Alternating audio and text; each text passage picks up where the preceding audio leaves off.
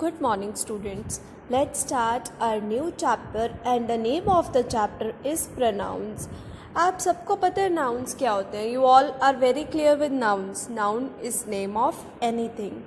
That is name of a place or a person. It can be idea or it can be feeling. So all these are nouns but जब हम noun के place पे word use करते हैं तो उसे हम कहते हैं प्रनाउन अब आप देख सकते हो example Ankur was angry with Sangeeta. Ankur and Sangeeta दोनों यहाँ पर नाउन्स है.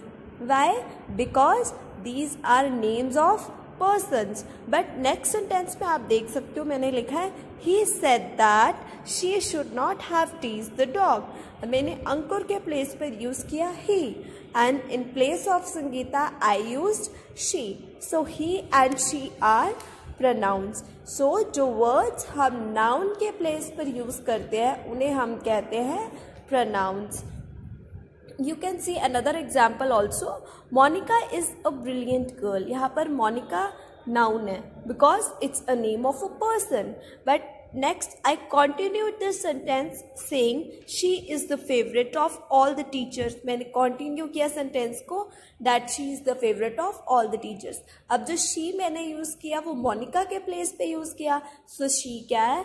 Pronoun the noun which a pronoun stand for is called its antecedent antecedent क्या होते हैं? जो हम प्रनाउन यूज़ करते हैं, जिस नाउन के प्लेस पर यूज़ करते हैं, उस नाउन को हम कहते हैं antecedent now here Monica is antecedent now there are various type of pronouns let study types of pronouns in detail first is personal pronoun personal pronoun क्या होते हैं? A pronoun that stands for a person और a thing जहाँ पे हम specially किसी person या thing के लिए यूज़ कर रहे हैं प्रनाउन उसे हम पर्सनल प्रनाउन कहते हैं और इस पर हम यूज़ करते हैं first person second person third person now you can see in example I like Miss Bhushan do you I like Miss Bhushan तो यहाँ पे मैं किसकी बात कर रही हूँ? मिस भूषण की। तो कौन स्पीक कर रहा है? मैं स्पीक कर रही हूँ। I so who is first person I is the first person जो पर्सन स्पीक कर रहा होता है, उसे हम कहते हैं फ़र्स्ट पर्सन एंड जिस पर्सन से हम बात कर रहे हैं उसे हम कहते हैं सेकंड पर्सन अब मैं किससे बात कर रही हूँ? आपसे आपसे पूछ रही हूँ do you like this question so you क्या है? सेकेंड पर्सन जिससे हम बात कर रहे होते हैं, वो सेकेंड पर्सन होता है.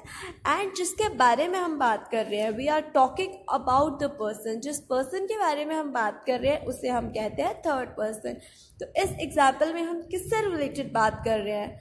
We are talking about Miss Bhushan so Miss Bhushan is the third person.